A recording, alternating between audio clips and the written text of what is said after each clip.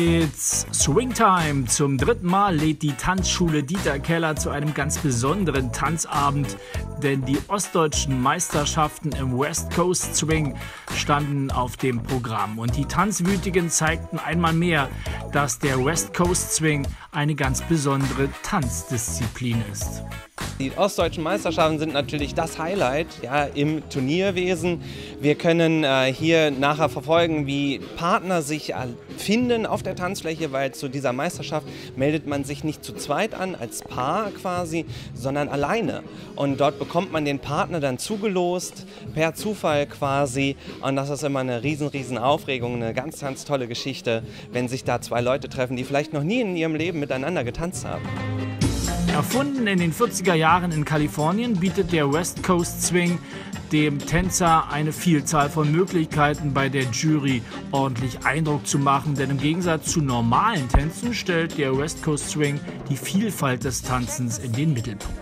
Also ich denke ganz besonders am West Coast Swing äh, ist, dass es für die Frauen eine, große Vielfalt bietet an Bewegung, eine große Freiheit bietet.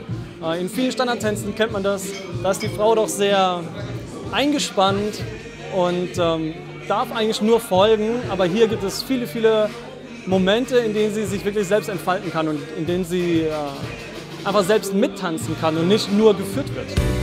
In den Klassen Jack und Jill Einsteiger und Level 1 sowie im Strictly brachten die Tanzbesessenen das Parkett ordentlich zum Glühen und auch die Stimmung konnte in der Tanzschule Dieter Keller nicht besser sein. Am Ende durften sich drei Paare die Krone als ostdeutsche Meister im West Coast Swing aufsetzen.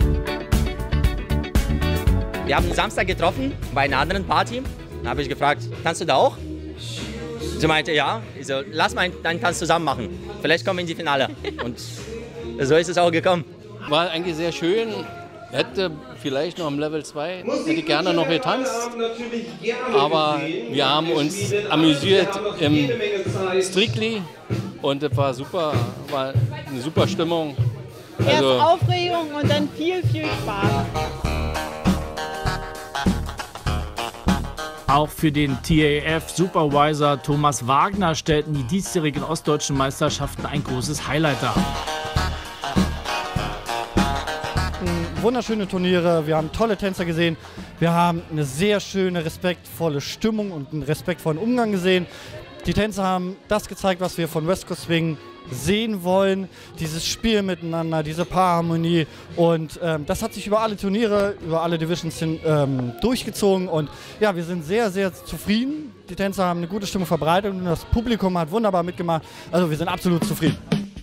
Wer jetzt also Lust bekommen hat, diese besondere Tanzdisziplin kennenzulernen, der sollte der Tanzschule Dieter Keller einen Besuch abstatten und vielleicht versteckt sich beim ein oder anderen der nächste ostdeutsche Meister im West Coast Swing.